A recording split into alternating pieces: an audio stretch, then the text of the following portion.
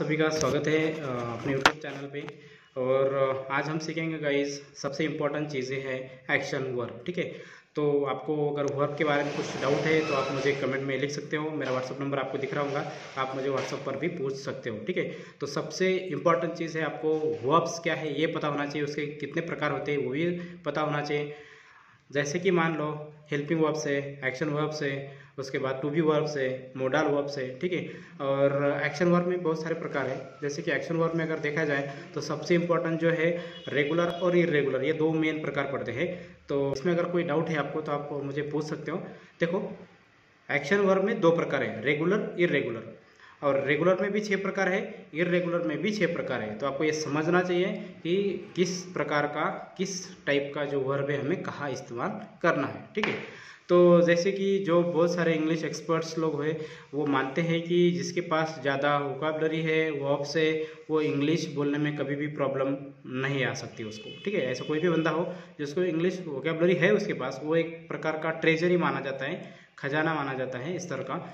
तो पहला जो अपने पास वर्ब है गाइज़ वो है डोनेट ठीक है, मैं आपको, मेरे पास लिस्ट है, मैं आपको इस पे स्क्रीन पे दिखाऊँगा बाद में. डोनेट नाम का जो पहला एक वर्ब है, ये है वी वन ठीक है? तो वी वन जो है, हमें सेंटेंस में इस्तेमाल करना है, मान लो. ठीक है तो कैसे बोलेंगे हम इसको? He donates he donates right वह पैसे दान करता है ही डोनेट्स मनी राइट उसके बाद हमें इसको अगला वाला टेंस में बनाएँगे. कि जैसे कि मुझे ऐसा बोलना है कि उसने पैसे दान किया, है ना? उसने पैसे दान किया। तो कैसे बोलेंगे? He donated money he donated money और उसके बाद तीसरा वाला जो है फ्यूचर टेंस का he will donate money right? तो इस तरह का हमें अलग अलग सेंटेंस में इस विवन का इस्तेमाल करना है ताकि हमें ये जो विवन है एक परफेक्टली याद हम कर पाए, ठीक है?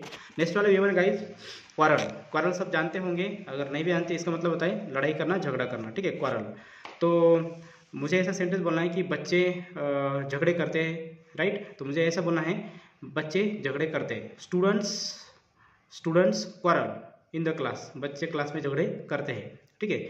उसके बाद बच्चे क्लास में झगड़े करेंगे, फ्यूचर में, ऐसा मतलब बहुत बार होता भी है ना? करेंगे राइट तो कैसे बोलेंगे? Students will quarrel in the class right उसके बाद हमें ऐसा बोलना है कि बच्चों ने क्लास में झगड़ा किया पास्ट वाला, ठीक है? सो स्टूडेंट्स क्वारल्ड इसको ईडे लगाएँगे हम students quarrelled in the class so, these are the sentence we can make by using v1 ठीक है? If you have any kind of doubt regarding verbs आप मुझे पूछ सकते हो और मिलते हैं नेक्स्ट वीडियो में, तब तक जय हिंद।